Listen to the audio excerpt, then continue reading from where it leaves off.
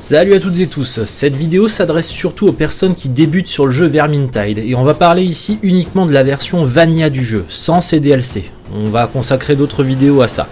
Si vous trouvez donc que ce que je suis en train de dire c'est d'enfoncer des portes ouvertes et que ce que je raconte est évident pour vous, bah c'est que la vidéo elle est pas faite pour vous. Si vous êtes toujours là, bienvenue sur cette vidéo où l'on va aborder les points les plus essentiels sur le jeu Vermintide 2. Si vous la regardez en entier, elle risque d'être longue, alors on va traiter ça de manière structurée, et si vous le souhaitez, vous avez des repères temporels en description pour vous catapulter directement dans la section qui vous intéresse. On va d'abord parler du déroulement d'un niveau, ce qu'il faut faire, ne pas faire, et ce qu'il faut garder en tête. On parlera ensuite des 5 personnages. Sans pour autant rentrer dans les détails, on abordera rapidement les différentes carrières de chacun et quels sont leurs styles de jeu pour vous faire une idée de ce que vous pourriez aimer jouer. On fera ensuite un tour rapide sur les armes, toujours sans rentrer dans les détails parce que j'y consacrerai des vidéos entières à leur sujet, on verra quelles sont les armes qui sont susceptibles de vous intéresser. On parlera ensuite du mode solo. Si vous êtes du genre loup solitaire et ne pas avoir d'amis avec qui jouer, vous verrez que le jeu est largement abordable seul. Et pour terminer, on parlera de l'aspect coopératif du jeu, qui se doit de rester un élément fondamental en observant quels sont les comportements à adopter ou à éviter. Commençons donc par la structure d'un niveau. Dans le jeu de base, vous avez un total de 13 niveaux, 3 actes de 4 niveaux chacun, se terminant par un boss à affronter, et le 13e niveau qui nécessite d'avoir fini les 12 premiers avant de s'y aventurer. Les niveaux sont tous linéaires, seuls les différents consommables sont disséminés de manière aléatoire. Dans tous les niveaux, il s'agira d'aller d'un point A à un point B en se frayant un chemin entre les lignes ennemies et en ayant à faire de petits événements, comme attendre l'ouverture d'une porte par exemple, ou bien escorter un chariot rempli d'explosifs jusqu'à votre objectif. De manière régulière, vous aurez des hordes d'ennemis qui déferleront sur vous et que vous aurez besoin de gérer avant de continuer à progresser. Ces hordes arrivant ponctuellement, vous devrez donc toujours continuer de progresser dans le niveau et le temps deviendra donc un luxe qui vous épuisera physiquement dans une run si vous y passez trop de temps. De manière aléatoire, vous pourrez rencontrer un, voire deux monstres, parfois même trois. Ce sont des boss, mais on les appelle des monstres car les boss c'est autre chose. Vous avez donc le rat ogre, la vermine de choc, le rejeton du chaos ou encore le troll bileux. J'y consacrerai une vidéo à parler de leur spécificité, mais sachez que ces monstres sont puissants, et même en difficulté recrue, vous devrez vous coordonner un tant soit peu pour les affronter. Et enfin pour terminer, chaque niveau possède 3 tomes et 2 grimoires que vous pouvez ramasser. Les tomes occupent la place de votre emplacement de consommable de soins, ce qui peut être assez handicapant, tandis que les grimoires occupent la place de la potion de support. L'ennui avec les grimoires, c'est qu'ils réduisent les points de vie maximum de l'ensemble du groupe.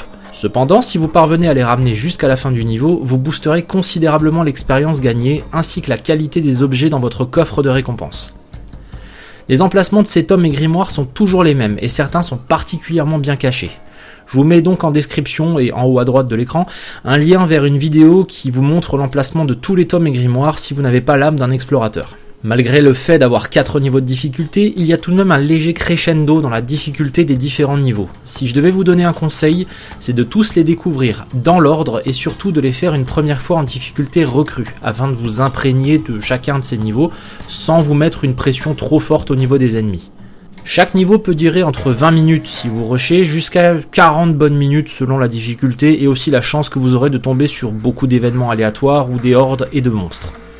Vous pouvez tomber deux fois à terre en difficulté recrue et vétéran. Si vous ne vous soignez pas au-delà de ces deux mises à terre, vous aurez le statut que j'appelle Black and White, que j'ai odieusement recopié de Left 4 Dead.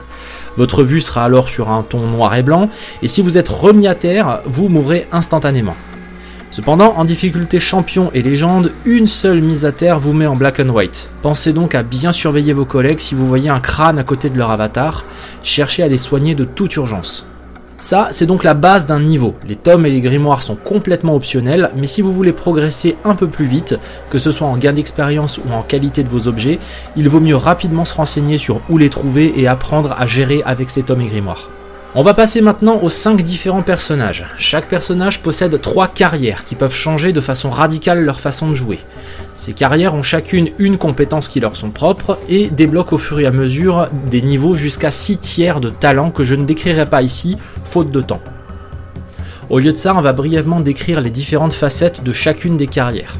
On commence donc par Marcus Kruber, le soldat impérial reconverti en mercenaire. Sa première carrière, le mercenaire donc, fait de lui un personnage mobile qui peut, avec sa compétence, mettre à terre tout le monde dans un rayon autour de lui, en plus de conférer un soin temporaire à tous les alliés proches.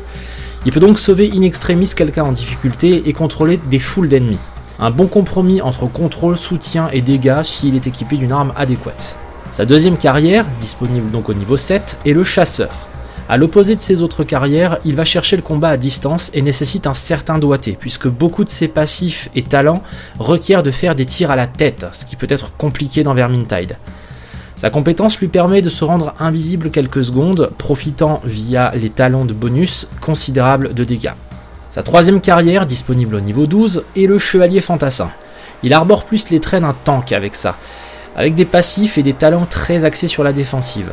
Sa compétence lui permet de charger dans la mêlée en renversant les petits ennemis. De plus, certains talents lui permettent de relever un allié à terre en toute sécurité, même sous une rouée de coups. On passe maintenant à Bardin Gorekson, notre nain national avec un humour nonchalant complètement cliché mais qui marche toujours autant. Sa première carrière est celle du survivaliste. Plutôt orienté sur le combat à distance, son passif lui permet de créer des munitions à la mort d'un ennemi élite et des munitions qui peuvent être ramassées par n'importe qui, ce qui est fort appréciable pour le groupe. Sa compétence est un écran de fumée à plus ou moins grande portée qui le rend invisible et qui met à terre tout ennemi présent au moment de l'explosion. Sa deuxième carrière est le brise-fer. Bon, on va pas se mentir, c'est la carrière de tank du jeu. Il peut gratuitement encaisser n'importe quel coup toutes les 20 secondes, possède plus d'endurance pour bloquer les coups, et possède une multitude de passifs et talents qui le renforcent en points de vie ou en dégâts subis. Sa compétence permet de prendre l'aggro sur tous les ennemis aux alentours, et un talent spécial lui permet même de prendre l'aggro sur un monstre. Donc à ceux qui disent que la taille compte, vous mettez Bardine devant vous, vous le laissez tanker et vous pourrez frapper en toute sécurité. Sa troisième carrière est le tueur. C'est probablement la carrière la plus difficile à maîtriser, mais qui peut être terriblement efficace entre des mains expertes. Bardine n'a plus d'armes à distance, et peut s'équiper de deux armes de mêlée différentes. Sauf dans le DLC Winds of Magic où il peut maintenant s'équiper de haches de lancer, mais on parle pas de ça ici. Son passif essentiel lui permet d'augmenter sa vitesse d'attaque à mesure qu'il frappe, et sa compétence lui permet de bondir au cœur de la mêlée en augmentant encore plus sa vitesse d'attaque. De nombreux talents permettent de modeler sa compétence pour le rendre plus offensif encore ou un petit peu plus défensif si vous avez peur de prendre un peu trop de quiche. On passe maintenant à Victor Salspire. Répurgateur de métier, sa carrière initiale est un bon compromis entre l'offensif et le soutien. Lorsque des ennemis spéciaux sont pingés, c'est-à-dire marqués avec la touche T, ça lui permet de faire beaucoup plus de dégâts sur eux. Sa compétence met tous les ennemis à portée à terre, en plus de conférer à lui-même et ses alliés une grande valeur de chance de coup critique. Bon nombre de talents permettent d'améliorer le soutien qu'il peut offrir, ainsi que quelques petits talents défensifs. Sa deuxième compétence, le chasseur de primes, va l'orienter plus sur du combat à distance plus de capacité de munitions, possibilité de faire des coups critiques à distance toutes les 8 secondes. Sa compétence vient embellir le tableau avec un coup de feu très puissant qui peut être modelé en tir en cône ou rectiligne et perforant selon le talent choisi. Et enfin, sa troisième carrière, le fanatique, fera le bonheur de tous ces masochistes avares de Dark Souls et autres Sekiro. Le concept est on ne peut plus simple. Moins il a de points de vie, plus il fait de dégâts. Sa compétence lui permet de charger dans les lignes ennemies et d'améliorer sa vitesse d'attaque pendant quelques secondes. Il est assez compliqué à jouer dans les difficultés supérieures si on veut exploiter pleinement son potentiel, mais il peut néanmoins être très redoutable si un joueur sait maîtriser l'esquive, le blocage et les patates de forain. Bon, assez parlé des hommes, on passe aux gonzesses. Kerillian, notre elfette hautaine méprisante et qui ferait bien de se regarder dans un miroir avant de traiter Bardine de moche. Sa première carrière est la forestière, une carrière que je conseille si vous débutez. Elle est plutôt axée sur le combat à distance et elle peut régénérer ses points de vie s'ils sont trop bas, et même ses munitions par le biais d'un talent. Ce qui vous laisse un droit à l'erreur assez sympa tant sur les coups que vous prendrez ou les tirs que vous raterez. Sa compétence lui permet de tirer une salve de flèches auto-guidées qui chercheront en priorité les ennemis élites plutôt que le menu frottin. Sa deuxième carrière est la servante plutôt compliqué à prendre en main pour exploiter son plein potentiel, c'est une carrière basée sur la mobilité, de grosses esquives et une compétence qui permet de dasher à travers les ennemis pour les faire saigner, mais surtout pour vous tirer d'une mauvaise passe. C'est un peu un dash 2 en 1. Ouais, non, je sais, ça pue la merde cette vanne. Bref, avec l'arrivée de Winds of Magic, elle peut obtenir une, lance et un bouclier, lui permettant d'utiliser cette carrière de manière un petit peu plus tanky, mais on a dit qu'on parlait pas de ce DLC, donc on n'en parlera pas. Sa troisième carrière est l'ombre, ou l'assassin si vous préférez. C'est une carrière situationnelle, mais surtout basée sur l'opportunisme, car son passif le plus important sera de pouvoir one-shotter n'importe quel ennemi, à part les monstres et les boss, si vous les frappez dans le dos. Sa compétence lui permet de se rendre invisible, pouvant ainsi passer tranquillement derrière les lignes ennemies en plus d'obtenir un gros bonus de dégâts à son prochain coup. Vous l'aurez compris, si en étant invisible avec la bonne arme, les bons talents, elle parvient à se faufiler derrière un monstre, elle peut lui arracher une sacrée quantité de points de vie en un seul et unique coup. Et nous terminons le grand tour de nos personnages avec Siena Fuegonasus, une mage avec un très léger penchant pour la magie du feu. Putain d'euphémisme. Elle utilise en arme à distance des bâtons de feu qui ont divers effets mais ont tous un point commun. Pas de munitions mais un système de surchauffe. Si elle surchauffe trop, c'est fini pour elle, elle tombera à terre quelle que soit sa quantité de points de vie. Sa première carrière est la sorcière de bataille. La surchauffe va influencer sur la vitesse de chargement des sorts de son bâton. Plus elle chauffe, plus les sorts se chargeront vite. Et son passif lui permet de faire baisser sa surchauffe beaucoup plus rapidement que les autres carrières. Sa compétence lui permet de se téléporter quelques mètres en avant en laissant une traînée de feu sur son passage, ce qui est un excellent contrôle des foules doublé d'un moyen de fuite. Sa deuxième carrière est la pyromancienne. La surchauffe va fortement influencer sur ses chances de coups critiques à distance, tandis que sa compétence est un petit peu similaire à celle de Kerila en forestière, c'est-à-dire qu'une boule de feu à tête chercheuse va se focaliser sur les ennemis les plus puissants et rebondir sur plusieurs d'entre eux. Sa troisième carrière, la déchaînée, est légèrement plus tanky mais nécessite pas mal de maîtrise au niveau de la surchauffe. Sienna possède une réduction de dégâts assez importante car elle partage les dégâts encaissés sur sa surchauffe. Ainsi, si vous prenez trop de dégâts, ce n'est pas votre barre de vie à zéro qui vous tuera, mais plutôt la barre de surchauffe pleine. Heureusement, sa compétence lui permet de libérer toute la surchauffe et de créer une explosion tout autour d'elle qui fera plus ou moins de dégâts selon les talents choisis. Voilà donc pour toutes les carrières de tous les personnages. J'ai essayé d'être le plus concis possible parce que je ne veux par le biais de cette vidéo vous orienter vers le potentiel de chacune de ces carrières et si l'une d'elles vous intéresse, la découvrir plus en détail par vous-même. Bien entendu, je ferai des vidéos sur chacun des personnages, mais on n'en est pas encore là. Une fois que vous aurez votre personnage, vous aurez le choix entre plusieurs armes. Une arme de mêlée et une de distance. On va pas passer toutes les armes en revue, hein, mais si j'avais un conseil à vous donner, ce serait on ne peut plus simple. De regarder sur le cartouche en bas de vos armes, vous avez un descriptif de son utilisation. Dégâts élevés, contrôle de foule, balayage étendu, bref, il y a pas mal d'indications sur ce que font chacune des armes, et c'est ça le plus important que vous devez regarder. Le but est de rester cohérent avec la carrière de votre personnage. Ce serait enfoncer une porte ouverte de dire que Bardine, si vous lui mettez une masse ou une hache avec un bouclier, ce sera beaucoup plus pertinent. Soyez donc en accord avec votre carrière mais aussi avec ses talents. Chercher des coups à la tête par exemple ne conviendra pas forcément avec une arme dont la spécialité est de balayer des hordes d'ennemis. Vous toucherez beaucoup moins souvent la tête. Donc cohérent avec soi-même, mais soyez aussi cohérent avec vos amis ou avec les bots qui vous accompagneront. Cherchez la diversité, parce que le jeu, lui, vous enverra de tout et son contraire. Des hordes, des ennemis en armure, des monstres, des élites qui vont vous sniper, vous disperser, et donc si aucun des quatre personnages n'est capable de contrer un de ces points, vous allez franchement vous marrer. C'est pas comme une vermine de choc avec un bouclier, si vous n'avez pas la bonne arme qui peut lui baisser sa garde pour viser sa tête, vous allez passer de précieuses secondes à le tomber. On va maintenant parler de ces joueurs troglodytes reclus depuis des années au point de n'avoir ni amis ni envie de se frotter aux étrangers pour jouer en ligne. Un peu comme moi. Alors Vermintide 2, est-ce que ça s'aborde en solo? Bah je vous répondrai carrément ouais. Parfois, je trouve que les bots sont même bien meilleurs que la plupart des joueurs qui jouent en mode YOLO de toute façon, on est 4 donc ça va passer et puis ils ont qu'à mieux jouer les trois autres, comme ça je me fais PL comme un gros bouffon. Bon, je vais être franc avec vous, l'IA est pas terrible, mais si vous apprenez à comprendre comment réagissent vos compagnons en intelligence artificielle, vous saurez comment progresser. Vous pourrez même torcher la difficulté légende avec eux. Puis si je vous jure, c'est possible. Déjà, les bots auront la carrière que vous aurez décidé. Donc pour ça, il vous suffira de switcher sur le personnage et la carrière que vous voulez lui attribuer, lui mettre le stuff que vous voulez, et repasser sur le personnage que vous comptez jouer vous-même. Sachez d'ailleurs que les charmes, les accessoires et les colliers peuvent être équipés simultanément avec vos quatre personnages. Pas besoin d'en avoir un pour chacun. D'ici là, vous l'aurez compris, le solo nécessite pour vous de monter en niveau trois autres personnages, de manière à débloquer tous leurs talents et les équiper convenablement afin d'avoir une équipe cohérente en armes, talents et compétences. Ce sera beaucoup plus long si vous voulez uniquement vous concentrer sur votre personnage favori, mais comme dit le proverbe, on n'est jamais mieux servi que par ses propres bots. Une fois en game, les bots chercheront toujours à vous suivre. Les seuls moments où ils ne vous talonneront pas, ce sera quand ils auront repéré un ennemi élite dangereux, de type Gazrat ou Ratling. Ils chercheront à le dégommer à distance, mais ils se sépareront de vous. De plus, si vous voulez tanker avec Bardine par exemple, les bots n'ont pas la présence d'esprit de rester derrière vous. Si une horde arrive et que vous levez votre bouclier pour les parer, les bots iront quand même devant vous pour aller les frapper. Ça peut être un peu pénible et ça baissera votre efficience à tanker. De plus, les bots ne ramasseront jamais un objet si vous n'en possédez pas un vous-même. Par exemple, si vous n'avez pas de potion de soin et que vous en trouvez une, ils ne la ramasseront pas.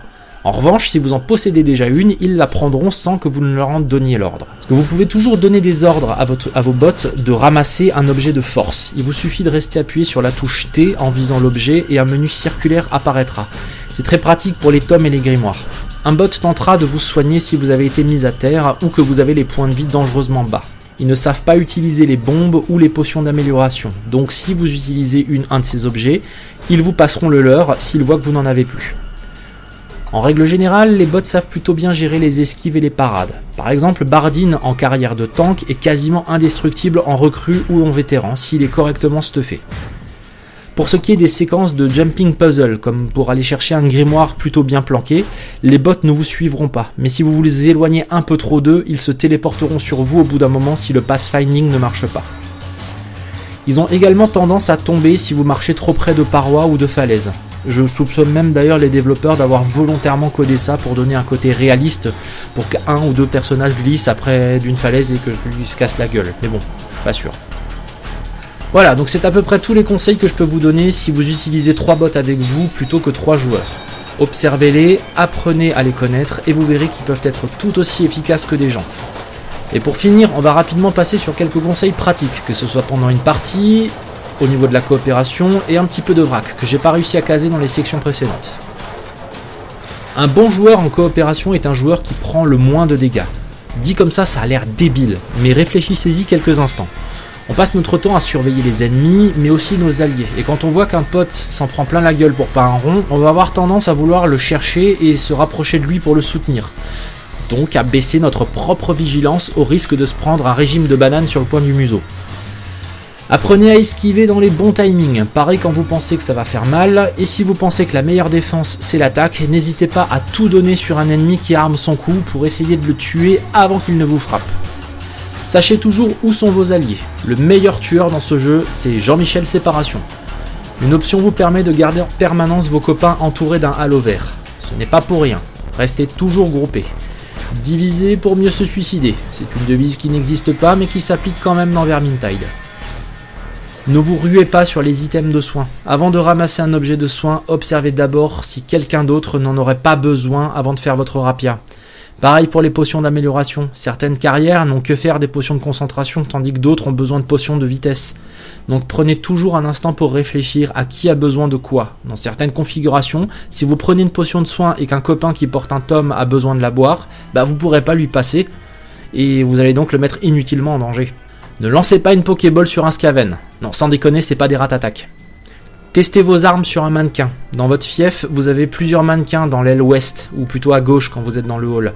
Quand vous les frappez, vous pourrez voir la quantité de dégâts, chose qui n'apparaît pas quand vous êtes en partie, et donc ça peut grandement vous aider à découvrir des combos plus puissants que d'autres, ou bien simplement à tester vos patterns et vos critiques. Apprenez à esquiver. Depuis la mise à jour 2.0, beaucoup de carrières peuvent améliorer la distance d'esquive, ce qui est une chose non négligeable. Une esquive réussie, c'est comme une parade, mais qui vous coûte pas d'endurance et qui vous met hors de la mêlée directe. Ça vous permet également de passer sur les côtés des ennemis, ce qui peut littéralement changer la donne en termes de placement pendant un combat difficile ou si vous vous sentez acculé. Vous gagnez autant d'expérience quelle que soit la difficulté. Les coffres de difficulté recrues ont un plafond d'item level à 100, tandis que tous les autres difficultés sont capés à 300 d'item level, qui est l'e-level maximal du jeu d'ailleurs. Voilà, cette vidéo est enfin terminée. Elle aura été longue, mais je pense que beaucoup de choses sont évidentes, et honnêtement, quand je vois certains joueurs, quand je fais des parties rapides avec des gens random, bah il y en a certains qui ont même pas conscience du tiers, de la moitié, du quart de ce que j'ai dit dans cette vidéo, et ça me désole. Vermintide est un bon jeu de coopération et nécessite un peu de se sortir les doigts pour faire de bonnes runs, alors n'hésitez pas à me dire s'il y a des vidéos qui vous intéresseraient sur l'approfondissement du jeu. J'ai déjà pas mal de sujets sur le feu, mais je voulais commencer par la base avant de rentrer dans le plus perfectionné. Sur ce, merci d'avoir regardé et à bientôt.